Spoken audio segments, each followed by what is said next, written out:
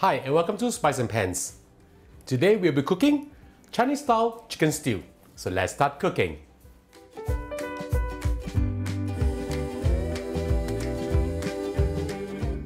Now we're prepared to cook our stew. Heat up a pot, add in just a little bit of oil.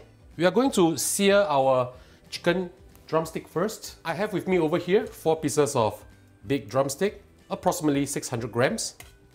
We're just going to sear them first. Searing them will actually bring out the flavor and also melt the fats over here.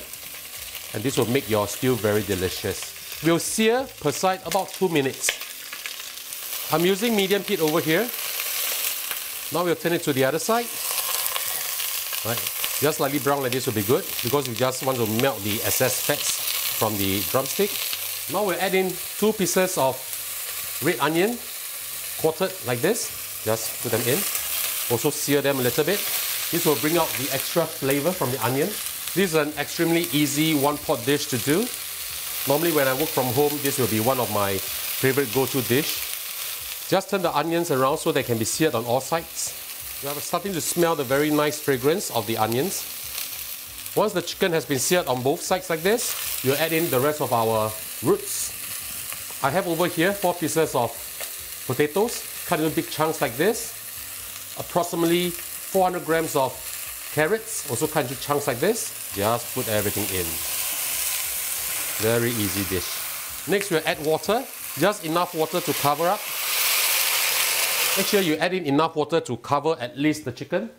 Just shift them around because the rest can be steamed, no problem. Now we're adding our seasoning. Add in half a teaspoon of salt, 2 tablespoons of light soy sauce, 2 tablespoons of oyster sauce, 2 tablespoons of dark soy sauce. Mix them up. We'll put the lid on and wait for it to come to a boil. Now that the stew is boiling, put the lid back on, turn the heat down to lowest, and we'll let this cook for half an hour. I'll see you back in a while. 30 minutes is up, let's have a look.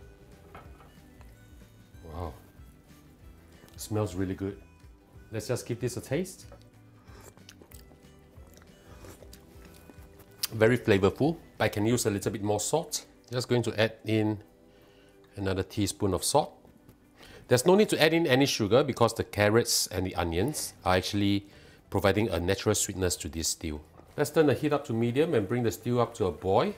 And we're prepared to thicken this up using cornstarch solution. Just slowly add it in and we'll mix it to the consistency that you like. Gradually add it in and give it a light stir.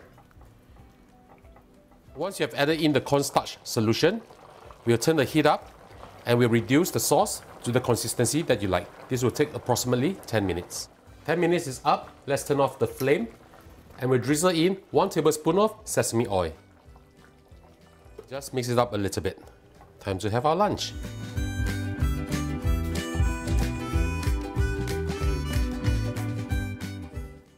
And now the stew is done, let's have a taste. Let me try the sauce first. Mmm, very flavorful. I love the taste of the onion, the carrots. Wonderful. Let's try the potato. Wow. Mm. Mixing up the potatoes with the gravy, excellent. Carrot.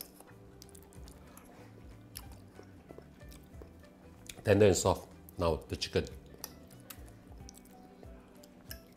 Ooh. Mmm.